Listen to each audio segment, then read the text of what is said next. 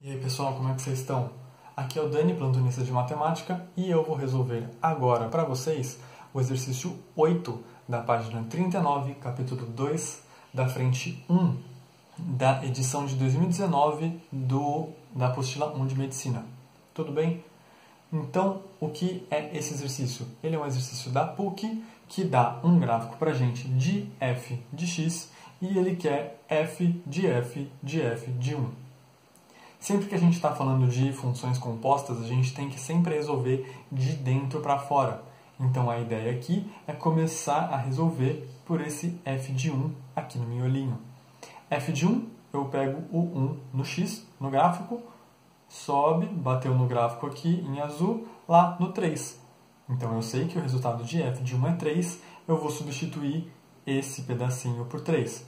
Então a gente tinha 3 f's para calcular, agora a gente só tem 2 porque o primeiro já foi.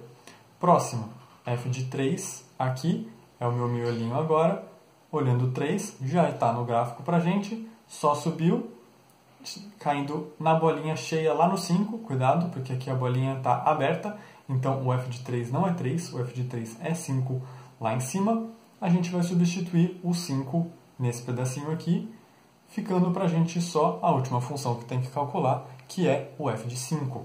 Agora, f de 5, olhando lá no gráfico, bateu num lugar desconhecido. Como é que eu calculo isso? Ou fazendo regra de 3, ou semelhança de triângulo.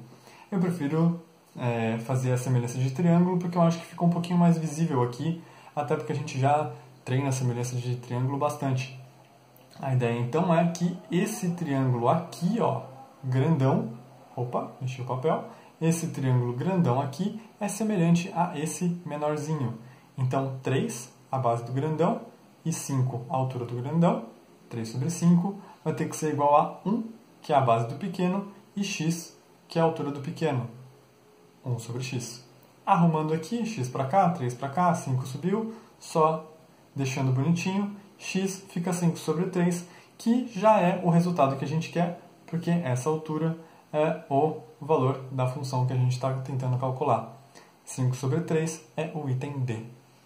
Tudo bem? Esse exercício é isso. Espero que vocês tenham entendido e bora para a próxima.